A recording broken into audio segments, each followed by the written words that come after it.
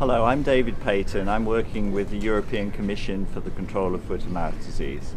In this short video, I'm going to show you how to collect a probang sample to detect foot and mouth disease virus in the oropharynx of cattle or small ruminants. This is a probang sampling device suitable for use on an adult cow. It's made of a steel wire and a brass cup and we've attached a sleeve so that we can keep a good grip on it. The way that the device works is you push it down the throat of the cow and then when you pull it out you collect mucus and cells from the surface of the oropharynx into the cup. Probang sampling is useful for detection of FMD virus in suspect cases where the disease is expected to have occurred over one week ago and there are no fresh lesions to sample. It is also used to detect long-term FMD carrier animals.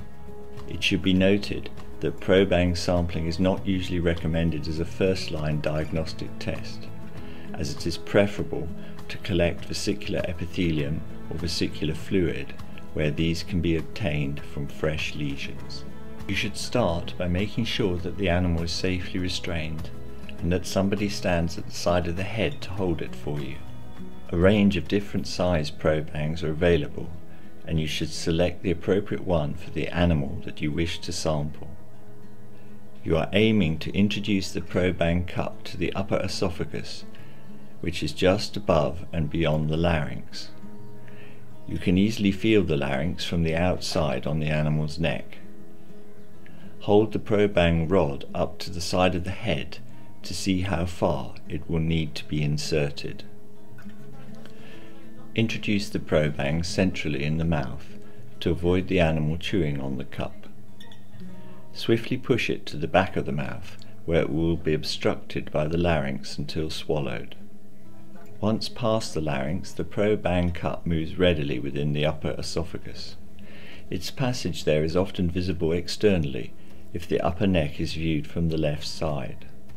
In order to collect the sample, the probang is moved backwards and forwards 5 to 10 times at the top of the esophagus and the back of the oropharynx. Lift the head of the animal and remove the probang in a swift upward motion so that the sample is kept in the probang cup as you remove it. Pour the sample into a wide neck container with an approximately equal volume of neutral pH buffered medium with added antibiotics. Remember to label the sample correctly. The sample needs to be kept cool and transported to the laboratory as quickly as possible after packaging in a biosecure manner. If a delay of more than 12 hours is anticipated during transport, the sample is better frozen rapidly with card ice or liquid nitrogen and transported frozen to the laboratory.